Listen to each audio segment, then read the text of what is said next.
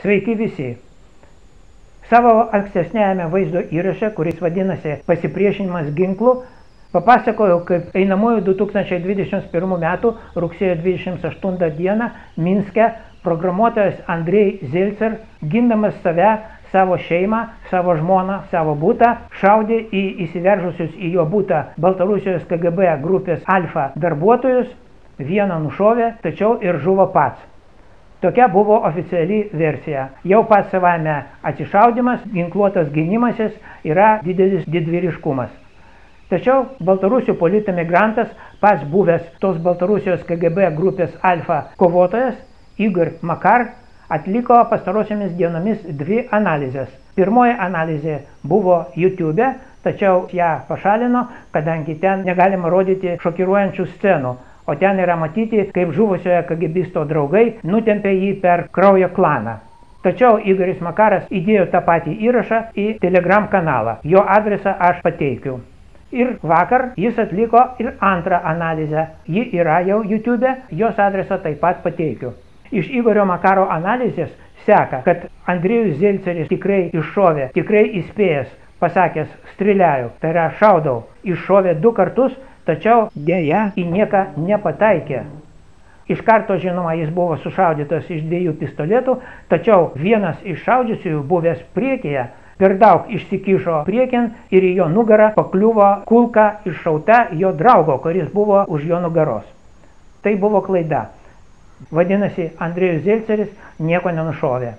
Aš siūlau pažiūrėti tuos Igorio Makaro vaizdo įrašus dar ir dėl to, kad kai kurie atleisk viešpatį idiotai ar apsimetantys tokiais, man prikaištaudavo, kol neišjungiau komentarų savo YouTube kanale, kurį jūs dabar žiūrite. Prikaištavo man ir lindo su pretenzijom, kodėl vieną ar kitą žmogų aš laikas agentų provokatoriumi.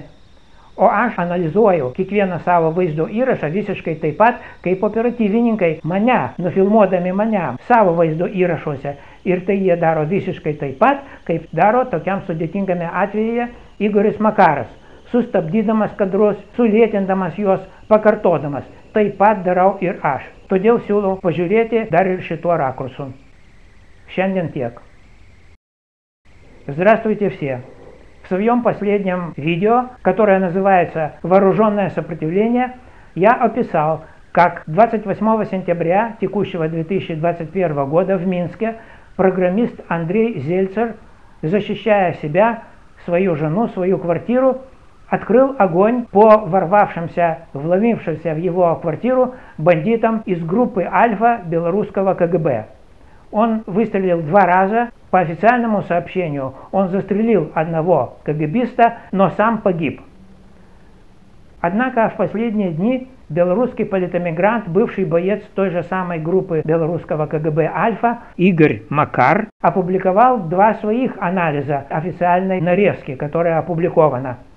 Первую из них он поместил в Ютубе, но она теперь оттуда удалена, потому что там якобы жестокая сцена, там видно, как э, КГБисты оттаскивают своего товарища через лужу крови.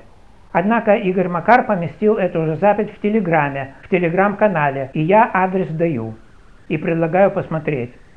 И второй анализ Игоря Макара вчера, 5 октября, тоже подробный анализ той же самой видеозаписи, официальной. Из анализа Игоря Макара видно, что Андрей Зельцер действительно выстрелил два раза, но, к моему глубокому сожалению, ни в кого не попал. А вот сам погиб, действительно расстрелянный из двух пистолетов.